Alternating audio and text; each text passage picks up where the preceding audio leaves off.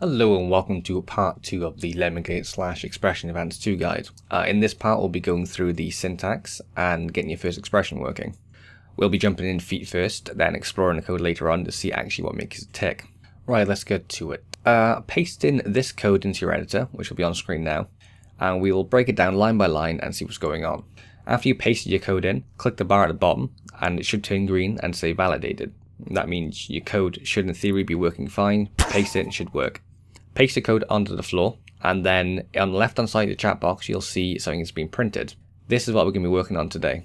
Open your code back up, and now we're going to break it down line by line and figure out what's going on.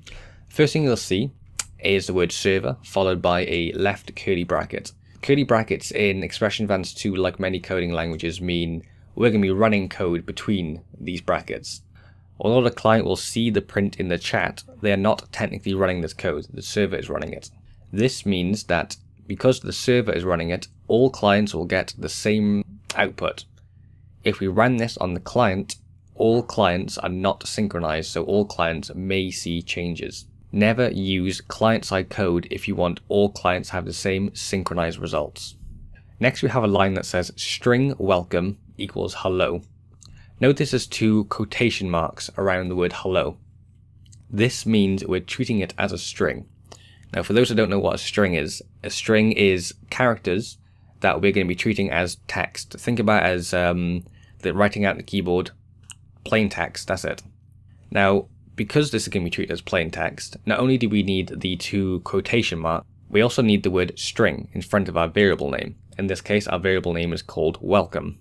Now for the quick and simple version, all we're doing, making a variable called welcome, which later on we could call back and get the value of, which you can have the value of hello, which because it's a string, which it says at the beginning, we need quotation marks.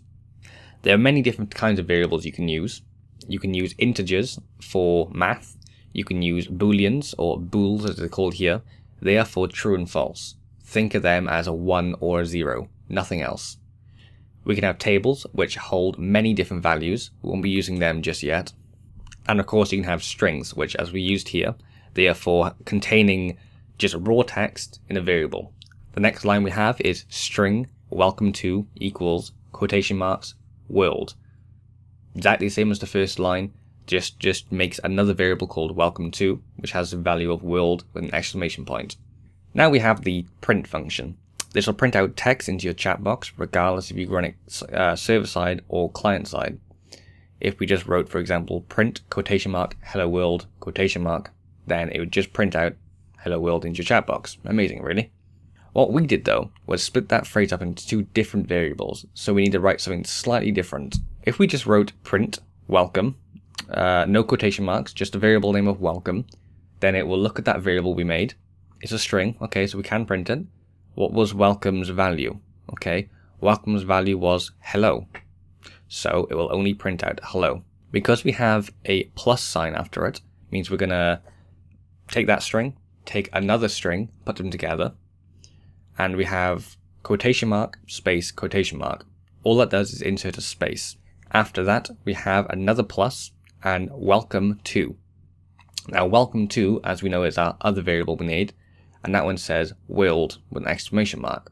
As you can probably imagine, takes hello, space, world, exclamation mark. That's our full string, and that's what we'll print, because that's what's between the two brackets. Now all we have to do is close off the original curly bracket from line 1 with a closing curly bracket. And voila, we now have a working hello world script running from our chip. We paste it down, again it will say hello world in chat. Fantastic. Now if you look at this code, there's something wrong with it here. I'm not going to say what. If you want to try work it out for yourself, pause the video here. I will of course explain what is wrong with this in a second, but for yourself, if you want to try work it out, pause it now. The actual problem with this is on line 4 we have number equals 8 times 3. Seems sounding concept, but we didn't actually say what number is. We didn't say if it was a string, integer, boolean. Now of course it should actually be an integer, because 8 times 3 is a mathematical formula, you can't do math on a string. Also, if you click validate at the bottom, this is the debug text you'll get. variable number does not exist at line 4, character 10. Now, to figure out what that means, is go to line 4.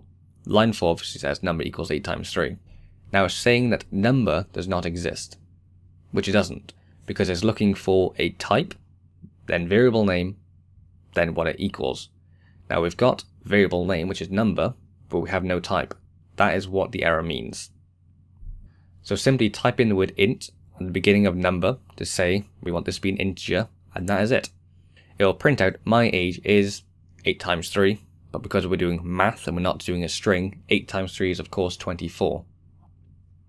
Alright, I hope you enjoyed part 2. Uh, of course, this is just going over the absolute basics of variables and some of the syntax. Part 3 is going to be on some of the client-side stuff, and we're also going to be working with events. Now, for people who don't know what events are, they're a lot like hooks in Lua, and if you don't know what that is, think of it as when something happens, run this code, and it'll do that automatically. That's it for me now, and I will see you in part 3.